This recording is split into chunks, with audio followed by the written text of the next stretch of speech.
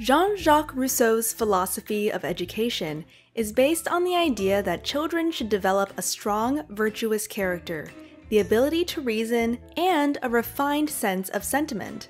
This is so that, as adults, they are able to resist temptations, think for themselves, and learn to appreciate the finer things in life.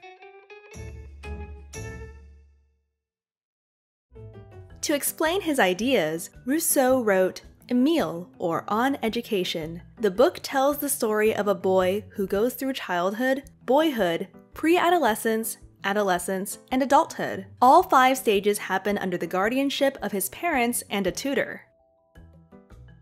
Stage 1, early childhood, begins with Emile's birth. During this stage, it is essential for his parents to ensure that Emile develops physically, only the mother should feed the boy, because she naturally loves him more than anyone else. To allow the boy to make experiences with all his senses, he wears loose clothing and is placed in a large cradle where he can move freely. Rousseau, who was influenced by John Locke, believed that dressing children too warmly makes them weak.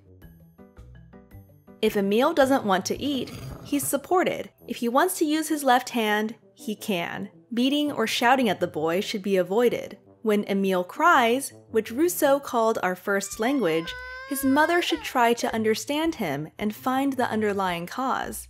Since children are born essentially good, it is the responsibility of the parents to shield them from those who could influence their innocent minds.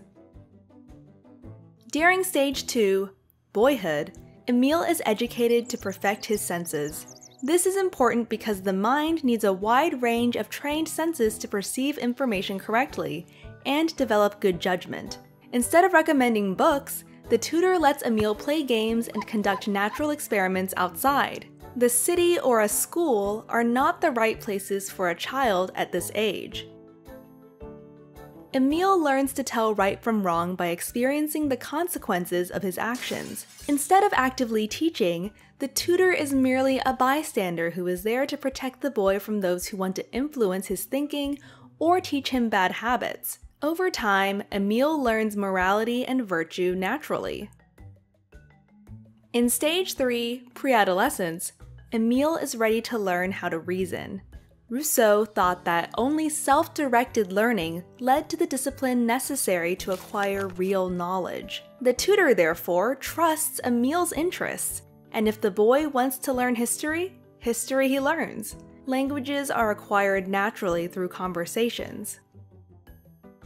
Emile is also taught carpentry, a manual labor that requires creativity and intellect, which helps him to become a virtuous adult who knows the value of hard work. Doing such work also keeps Emile out of trouble and allows him to make a living in the event of a change in fortune.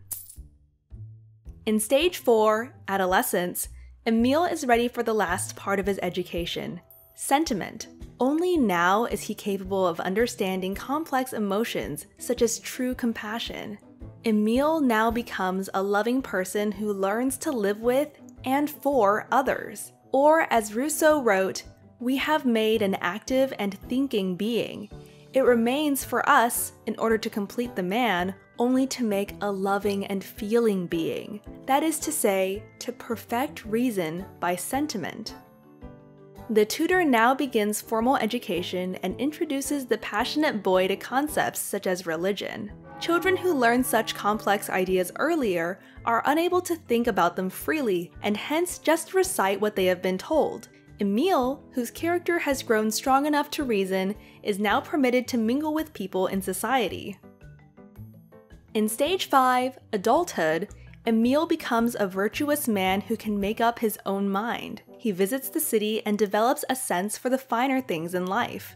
Thanks to his strong character, the pursuit of wealth or other temptations are none of his interest. The young man is now ready to meet Sophie, the perfect woman, his wife to be. Sophie, a representative of the ideal woman, is educated to be governed by her husband, while Emile, a representative of the ideal man, is educated to be self governing. The man should be strong and active. The woman should be weak and passive, Rousseau wrote. Sophie's purpose is to please, advise, and console her husband. Once published, Rousseau's books were widely criticized, burned, and banned. The church and state issued a warrant for Rousseau's arrest. In addition, modern women disagreed with his ideas or saw him a hypocrite. Rousseau himself sent away all five of his children to orphanages. Nevertheless, Emile became Rousseau's most important work and a pillar of modern education. But what are your thoughts? Do you think Emile receives the ideal education to become a truly free thinking mind? Is it right to try to protect children from society's influence? Or was Rousseau wrong about education? Tell us what you think in the comments below.